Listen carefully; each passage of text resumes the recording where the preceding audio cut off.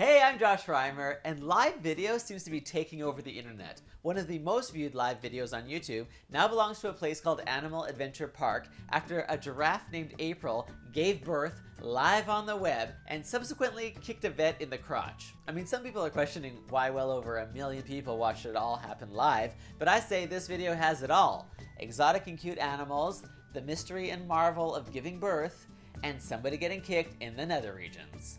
What more could you ask for? And if you say a mumbling cat, I swear to God, I'll find you and kick you in the crotch too. So did you know that giraffes give birth standing up and the baby falls about six feet to the ground? Well, if you'd watched the live stream, you would. I mean, I gotta say, at least this was an educational video.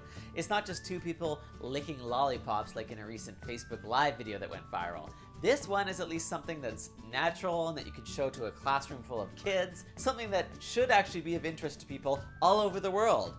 But if Kylie Jenner does a live video to reveal her next lipstick color, I'm so gonna watch that. I hate myself right now. This zoo has actually been live streaming April the giraffe since February, and some people have been tuning in every day since then, waiting to see the baby being born. Can you imagine if you missed it though? What if that was the one day that you were busy out doing something and you came home only to find out that she'd given birth? I mean, you could watch the replay afterwards, but I imagine that would be like watching a sports game that you were really looking forward to after the fact.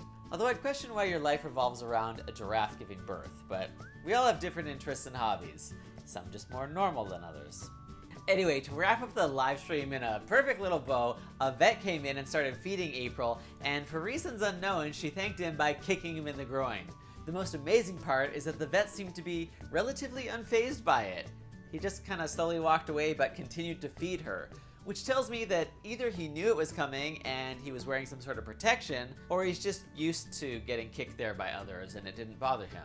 Which would be weird, but again, different hobbies for different people.